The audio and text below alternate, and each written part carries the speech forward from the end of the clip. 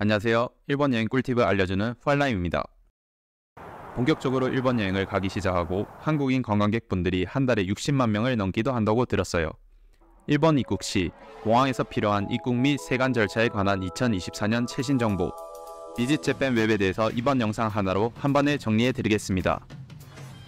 목차 비짓 재팬 웹이란 비짓 재팬 웹은 필수이까 공항 활용법과 종이 수기랑 차이점은 등록 시기는 Visit Japan Web 등록 방법 Visit Japan Web은 뭐예요? Visit Japan Web이란 간단하게 말하면 입국 심사, 세관 신고 종이를 전자화, QR화하여 대체한 것이라고 생각하면 됩니다. 일본 입국 시 입국 심사, 세관 신고 종이 카드를 쓰지 않고 대신 Visit Japan Web으로 그 두 가지를 한 번에 사전 작성하고 QR코드를 발급받아 빠르고 간단하게 공항에서 활용할 수 있도록 하는 서비스입니다. 비짓 재팬 웹은 필수인가요?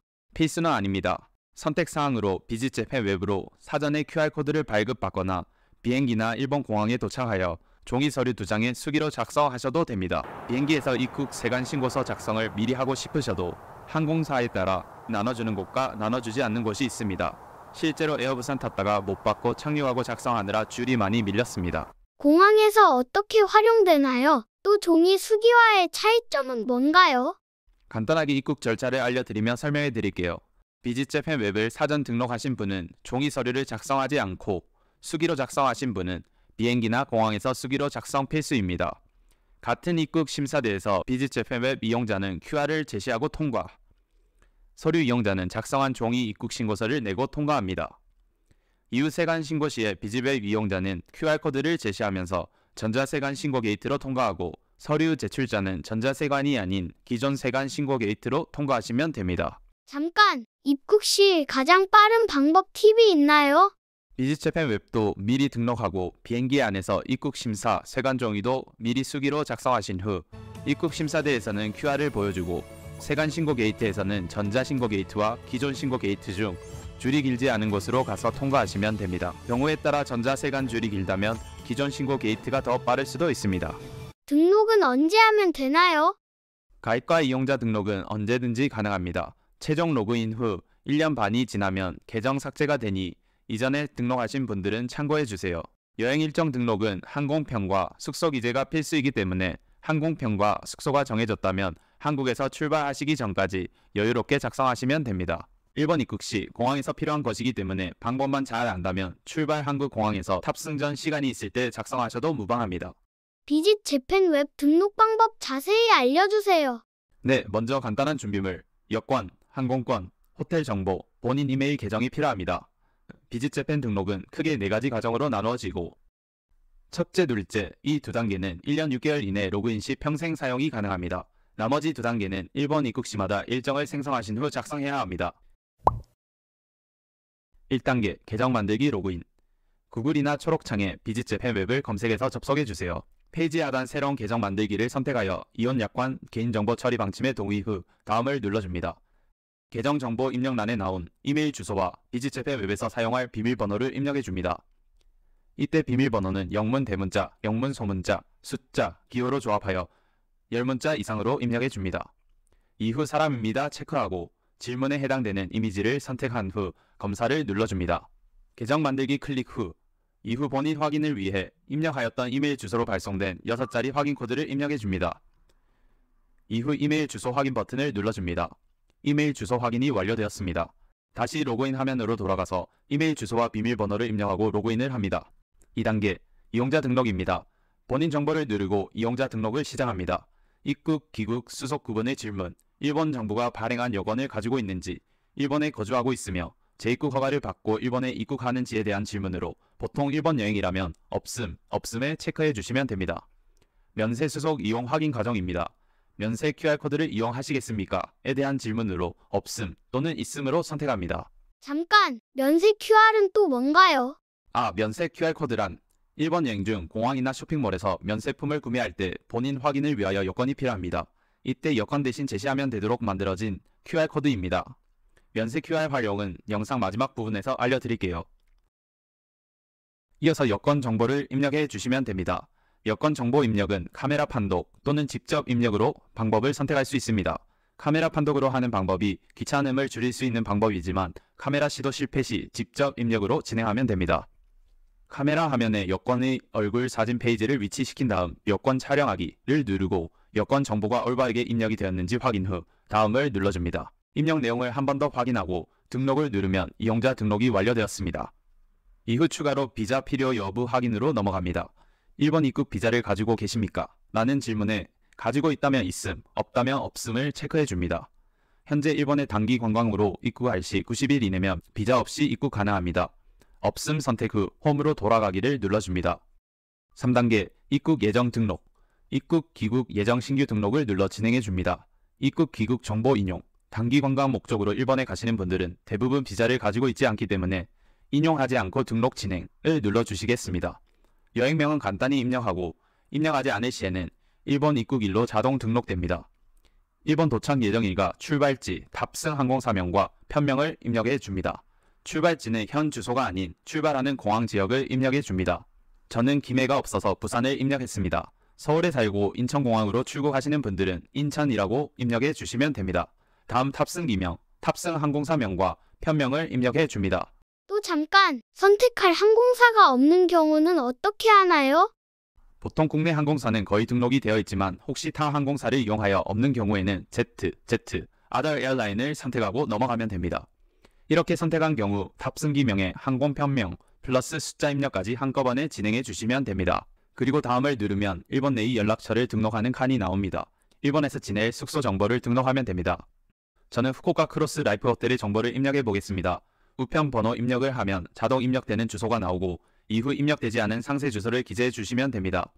전화번호까지 기재 후 다음을 누르고 기재한 내용을 확인하고 예정 등록 버튼을 누르면 입국 예정 등록 완료입니다. 아니, 잠시만요. 저는 당일치기인데요. 아하, 당일치기인 경우 일본 공항 주소와 전화번호를 입력해 주시면 됩니다. 오, 그럼 만약 일본에서 여러 숙소에 묵는 경우는 어떻게 해야 하나요?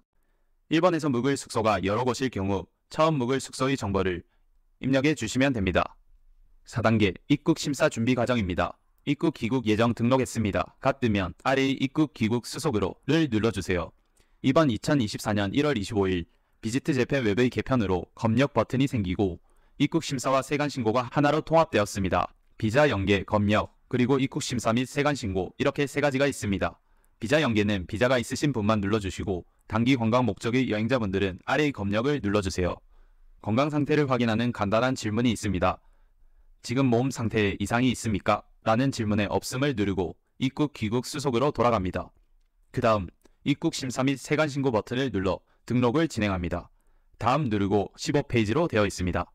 1페이지 기본 정보 등록 직업 선택하고 현 주소 나라의 South Korea 입력하고 도시명에는 한국의 본 거주지인 부산을 입력하였습니다. 입국 일자, 탑승기 편명, 출발지 기존 입력 내용이 이미 반영되어 있습니다. 다음 누르고 2페이지 일본 내 연락처 체류지 입력란입니다. 미리 입력해 두었던 호텔 정보가 나와 있습니다. 다음 누르고 3페이지 외국인 입국 기록입니다. 입국 정보 관광 상용 등 목적에 맞게 선택하고 체제 예정 기간을 입력합니다. 다음 누르고 질문 사항을 확인하고 해당 사항이 있으면 예, 없으면 아니요를 선택하여 줍니다. 선택 후 다음을 누르면 5페이지부터 휴대폰 별성품 신고 질문입니다. 금지된 물품과 별도로 송부한 물품들이 없는지 확인하는 질문이 5페이지에서 12페이지까지 나옵니다. 내용 확인한 뒤에 신고할 내역이 없다면 없음 선택하고 다음 눌러줍니다. 15페이지에서 입력 내용을 한 번 더 재확인할 수 있습니다. 이상이 없을 시에 확인을 체크하고 등록 누르면 등록이 완료되었습니다. 입국 귀국 수속으로 돌아가서 확인해 보면 입국 심사 및 세관 신고가 등록된 으로 바뀌어 있고 아래쪽에 파란색으로 QR코드 버튼이 활성화되어 있습니다. QR코드 표시 눌러서 확인해 봅니다. 동의하고 QR코드를 표시하기 클릭. 흰 바탕에 검정색으로 된 QR코드가 생성되어 있습니다. 현재 화면을 캡처하면 입국심사대와 세관신고대 이 두 곳에서 이 QR코드 하나로 사용이 가능합니다. 또는 공항에서 사이트에 생성되어진 QR코드를 바로 이용하셔도 됩니다. 캡처가 훨씬 편하기 때문에 미리 캡처해 두시기를 추천해 드립니다. 이렇게 작성 이후 계획 변경으로 인해 수정을 한 경우 QR코드가 변경되어서 다시 캡처해야 합니다. 선택 사항인 면세 QR 꼭 필요할까요? 개인적으로는 추천드리지 않습니다. 면세 QR코드란 면세 혜택을 받기 위해 여권 대신 제시하면 되는 QR코드이지만 아직 면세 QR코드를 지원하지 않는 곳들도 많아 여권을 들고 다니지 않기에는 당황스러운 상황이 발생할 수도 있습니다. 면세 QR코드를 사용하기보다 여권을 소지하시고 이용하시는 것을 추천해 드립니다. 일본 여행 꿀팁 하나 소개해 드릴게요. 이런 경험 없으신가요? 여행지 도착해서 바로 놀고 싶은데 무거운 짐 때문에 호텔에 짐을 맡기고 나오거나 짐 맡길 곳을 찾아 돌아다닌 적 또는 한국으로 출국하는 날 무거운 짐과 함께 음식점에 가거나 쇼핑을 하고 공항으로 출발한 적 그런 적 있다 하시는 분들은 후쿠오카에서만큼은 번거로운 짐 때문에 여행의 시작과 마무리가 어려워지는 일은 사라질 수도 있습니다. 후알람이 알려주는 후쿠오카 여행 꿀팁 광고 아님 협찬 아님 바로 카고패스입니다. 카고파스 카고패스는 무거운 짐을 공항에서 호텔로, 호텔에서 공항으로 배송해주는 시스템입니다. 카고패스를 이용하면 공항에 도착하여 짐을 맡기고 여행을 즐기다 호텔로 돌아가면 짐이 먼저 도착해 있습니다. 또는 마지막 날 호텔에서 짐을 맡기고 난 후 여행을 마무리하고 공항에 도착하면 짐은 미리 대기 중입니다. 이용하면 아주 편한 카고 파스 이용 방법에 대해서 설명해 드릴게요. Cargo Pass 카운터는 현재 후쿠오카 공항 국내선에 위치하고 있습니다. 1년 내에 국제선으로 이동할 예정이라고 합니다. 국제선 터미널에 도착한 후 공항 순환버스를 타고 국내선 터미널로 이동합니다. 1번 승강장에서 하차 후 국내선 9번 승강장 옆 입구로 들어와서 에스컬레이터를 타고 지하 1층으로 이동하면 Cargo Pass 카운터가 위치해 있습니다. Cargo Pass 카운터에 도착해서 QR 촬영 또는 카카오톡에서 Cargo Pass를 검색하여 채널 친구 추가 후 채팅창을 열어줍니다. 채팅창 아래의 Cargo Pass 이용 방법을 선택해 줍니다. 내용은 미리 한 번만 확인해 주시고 Cargo Pass 카운터에 신청서 QR코드가 있으니 QR코드를 찍고 작성해 주세요. 첫째, 숙박 호텔까지 배송을 선택합니다. 둘째, 크기에 따라 수화물을 선택하여 개수 조정을 해줍니다. 세변의 합계가 140cm 미만, 중량이 15kg 미만인 수화물은 550엔, 140cm 이상 또는 중량이 15kg 이상인 경우에는 1100엔입니다. 셋째, 수화물을 받는 장소를 선택해 줍니다. 지금 현재 Cargo Pass와 제휴된 후쿠오카 호텔은 약 200곳입니다. 제휴 호텔 확인은 Cargo Pass 카카오톡 채팅창에서 확인 가능하다고 하네요. 넷째, 호텔 숙박 번호는 빈칸으로 비어둡니다. 다섯째, 이름은 영어로 호텔이나 숙소에 예약된 정확한 이름으로 입력해 줍니다. 여섯째, 국가 선택 대한민국 822를 입력하고 휴대폰 번호를 입력해 줍니다. 일곱째, 결제 방법을 선택해 줍니다. 현금 cash 또는 Visa 카드로 가능합니다. 여덟째, 이용 약관 동의서를 확인 후 상기 각 항목에 대해 확인했습니다.를 클릭해 줍니다. 아홉째, 확인 화면으로 클릭. 열째, 배송 정보 및 고객 정보를 재확인한 후 문제 없을 시 완료를 클릭해 줍니다. 완료 후 주문 번호가 생성되면 카고패스 직원에게 번호를 알려주고 카카오톡 채팅창에 호텔 예약 정보가 담긴 바우처 사진을 전송합니다. 바우처가 전달되면 모든 접수가 마무리됩니다. 오전 8시 30분에서 오후 2시까지 접수 및 캐리어 전달까지 완료되면 당일 오후 6시까지 호텔로 배송됩니다.